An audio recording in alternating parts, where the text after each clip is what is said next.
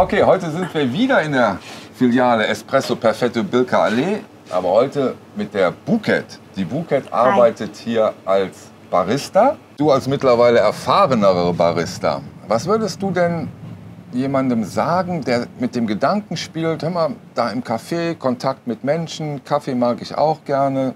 Was würdest du sagen, was der mitbringen sollte, wie er das Thema Ich möchte Barista werden angehen könnte? Also wie du gerade schon erwähnt hast, ganz wichtig, Kontakt mit Menschen. Er muss es lieben, auf alle Fälle lieben, mit Menschen Kontakt zu haben. Er sollte stressresistent sein. Gastronomie Ja. ist einfach so kein Beruf, wo man was planen kann. Du kannst nicht sagen, um die Uhrzeit mache ich das, um die Uhrzeit das. Die, die Kunden Kommt kommen immer dann. anders, als du denkst. oder? Natürlich, also sogar Stammkunden ändern ihre Uhrzeit, wann sie kommen oder ob sie nicht kommen. Deswegen, ähm, man muss geduldig sein, weil man weiß nicht, wa- was einen erwartet, was der Kunde am Vortag erlebt Ja. hat. Ähm, diese Launen können auch, sich natürlich auch hier widerspiegeln. Klar. Und, und jetzt sage ich, okay, ich möchte mir das mal angucken, weil du kriegst ja auch dann so eine Barista-Schulung, Genau. wenn du, den, du dich hier, hier äh, bewirbst. Ähm, wie mache ich das? Einfach anrufen? Habt ihr einen Ansprechpartner, bei dem ich anfragen kann, Also ob noch Stellen ähm, frei wir haben ja mehrere Filialen, Ja. auch Franchise-Filialen. Bei, Ja. äh, bei uns läuft das so, Sie können sich natürlich direkt in den Filialen bewerben, aber ansonsten auch bei uns anrufen, vorbeikommen. Mhm. Also einfach Telefonnummer. Telefonnummer blenden wir ein, Leute, Genau. falls ihr dann spontan mal nachfragen wollt. Der Kollege hier würde sich doch darum kümmern, falls hier kein Bedarf wäre, dass es eine andere Filiale Ja. sein soll, könnte. Also ich kann aus dem ganzen Bundesgebiet anrufen. Am Genau. besten frage ich doch nach Vinci, oder? Ja, genau. den, den das ist der Filialleiter beste hier, in, Ansprechpartner hier in, in dafür. Düsseldorf. Egal, wo ihr gerade sitzt und, und, und euch das Video anschaut, falls ihr mal Interesse daran habt, in den Beruf des Baristas reinzuschauen, jederzeit, oder? Jederzeit, ja. Wie bist du jetzt bei Espresso Perfetto als Barista gelandet?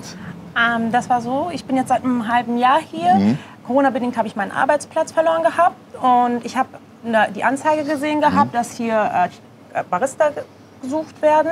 Und habe direkt angerufen. Da hat mich auch der Kollege, den Sie gerade erwähnt haben, der Vinci, ähm, direkt eingeladen. Ich bin zum Vorstellungsgespräch gekommen und danach ging es auch eigentlich recht schnell.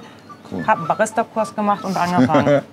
Ja, ich denke, bis man die eigene Handschrift als Barista entwickelt hat, das ist dann auch im Job, richtig? Das, äh, das, ja. das ist einfach Learning by Doing. Ähm, jeder hat eine andere Technik, die Kanne zu halten, die Tasse Ja. zu halten. Ja. Das ist einfach so, das lernt man mit der Zeit. Das kommt dann mit der Zeit. Die äh, äh, Bouquet können wir natürlich nicht entlassen, ohne dass sie uns so ein paar Tricks und Geheimnisse verrät. Deswegen hatten wir uns überlegt, dass wir heute mal ein Cappuccino machen. Gerne. Vielleicht so erstmal, bevor wir damit starten, was, was zeichnet denn jetzt einen richtig guten Cappuccino aus? Ähm, beim Cappuccino ist wichtig, es ist eine 3 zu 3 Konstellation. Das heißt, ein Drittel der Espresso, ein Drittel macht die Milch aus und ein Drittel je nachdem die Crema oder der Schaum. Ja. Manche arbeiten lieber gerne mit dem Schaum und manche mit der Crema. Das ist das Wichtigste. Crema. Wir arbeiten hier ausschließlich mit Crema. Mit Crema, okay. Ja. Warum kommt ihr jetzt eher über die Creme als über den Milchschaum? Was ist die Idee Weil dahinter? die italienische Art ist einfach mit Crema zu Ah, okay. arbeiten und Schaum ist für ähm, viele mögen es den Schaum zu löffeln, aber Mhm. zum Trinken ist er eigentlich nicht das perfekte Getränk Ja. sozusagen. Wenn Sie einen Cappuccino haben, dann löffeln Sie, also mit Schaum, dann löffeln Sie den Schaum. Erstmal beim Trinken Ja. kommt er ja nicht mit. Bei der Crema Okay. ist es so, dass alles in einem sich verbindet Verstehe. und man einen richtigen Cappuccino, den originalen Cappuccino hat. Genau. Okay, verstehe.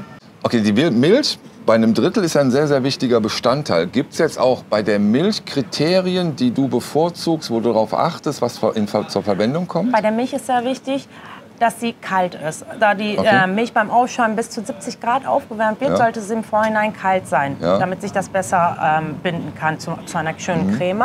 Weiteren ist wichtig für den Geschmack die, ähm, der Fettanteil natürlich. Je fettiger, desto mehr Geschmack verleiht Ja, klar, Milch. Geschmacksträger. 3,5 Prozent benutzen wir, ist auch so der Standard, aber es gibt auch spezielle Milch 3,8 Prozent. Wenn man es ein bisschen süßlicher ähm, bevorzugen würde, kann man auch die Okay. nehmen. Also der Fettgehalt ist wirklich Geschmack. Ich dachte auch, dass Fettgehalt was mit Natürlich, dem Schaum da- zu das, tun hat. äh, Das ändert natürlich, die Crema wird natürlich dadurch auch besser. Aber es Ja. ist natürlich auch geschmacklich eine andere Sache. Das ist wie bei einem Magerjoghurt, sage ich mal, der Unterschied von 1,5 Prozent und 3,5 Prozent. Den Okay. schmeckt man einfach raus. Ja, das stimmt. Das merkt man. Ja, okay, Bouquet. Dann schreiten wir doch mal zur Tat. Dann mach uns doch mal ein Cappuccino. Cappuccino? Sehr gerne. Also dann machen wir jetzt den Cappuccino. Wichtig dabei ist, dass die Tassen am besten vorgewärmt äh, sind. Das können, falls Sie eine Siebträgermaschine haben, die diese Funktion oben drüber hat, dann die Tassen am besten drüber ähm, aufwärmen. Ansonsten ein bisschen heißes, mit heißem Wasser ausspülen, damit sich der Geschmack des Espressos besser entfalten kann.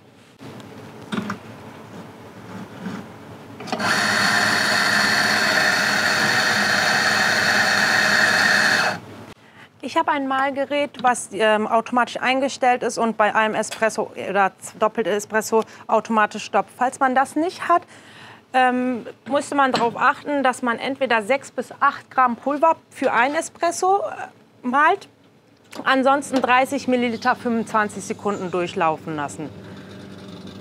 So.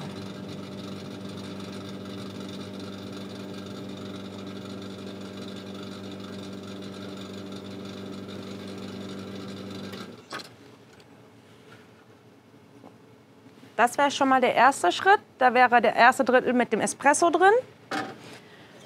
Als nächstes wichtig ist, dass die Milch, wie gesagt, kalt ist. Am besten frische Milch immer benutzen.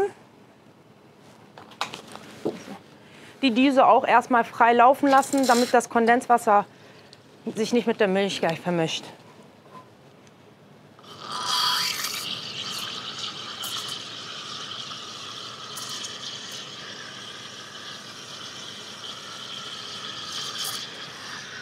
Je nachdem, wie man das am besten halten kann, sollte ein Finger entweder unten drunter oder hier am Hebel die Kanne berühren, da man dadurch die Wärme der Milch besser einschätzen kann. Ist das eigentlich ein wichtiger Faktor, wie tief ich die Düse in die Milch eintauche? Ja, je nachdem, ob man Schaum oder Creme haben möchte, ändert sich das. Man hört es aber auch raus, wenn man Schaum macht, ähm, hört sich das ein bisschen mehr nach einem Gequietsche an bei der, bei dem Düse. Einmal abklopfen, damit sich die Bläschen nicht entwickeln und einmal umrühren. Als erstes die Milch von oben einlaufen lassen. Das wäre der, das zweite Drittel. Und dann die Tasse ein bisschen schräg halten, die Kanne ansetzen und mit dem Muster beginnen.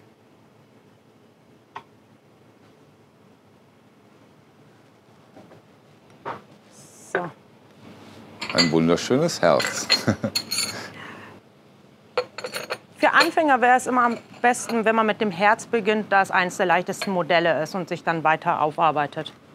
Ja, die Bouquet, die wird eure Fragen gerne unten, äh, wenn ihr die unten in den Kommentaren stellt, beantworten.